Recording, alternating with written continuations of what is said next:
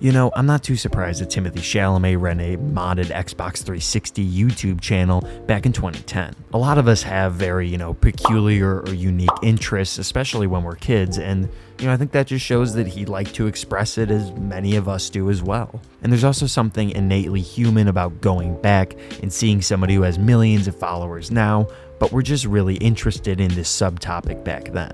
What other celebrities out there do you think have hidden accounts that they're not revealing to the public?